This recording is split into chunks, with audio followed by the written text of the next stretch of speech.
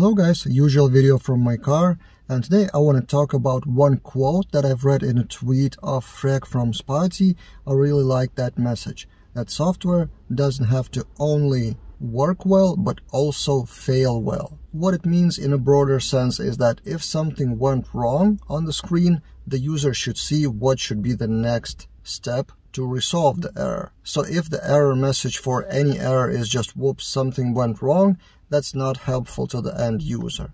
And from what I've seen, developers quite often leave that as an afterthought and don't pay too much attention. So typically in, for example, Laravel controller, you can find if-else statements. So if everything is good, then we proceed with the functionality, else redirect back with some error message.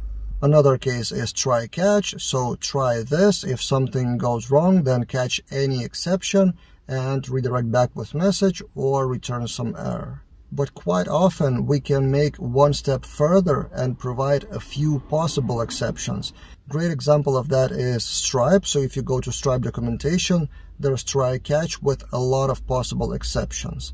So what if card is declined? What if the balance is negative? What if something went wrong with the request? For all of that, there's a specific exception with specific message to show. And even if we talk about a regular eloquent thing like first or fail or find or fail in eloquent, many of us use that, but the actual error message isn't that helpful. If the model, the object is not found, then the user would see on the screen just empty page, not found. 404 not found.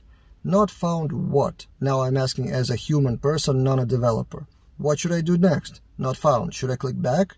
Should I call the support? Should I refresh the page? So basically you need to inform the user what could be the next step.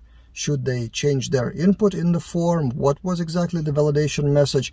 And generally Laravel validation messages are quite okay, but sometimes you need to specify a bit more. Just go a little further and in the description below I will link a few videos about exceptions and how to customize stuff and a few topics around that that I've shot previously on this channel so you can watch those.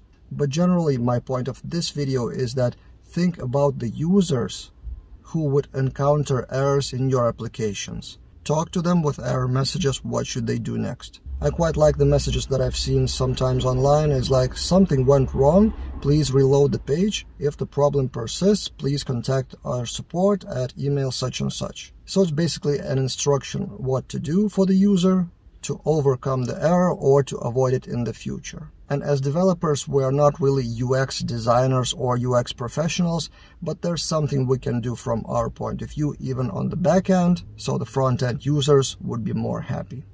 That's all for now. Subscribe to the channel to get daily videos and on Saturday videos from my car and see you guys in other videos.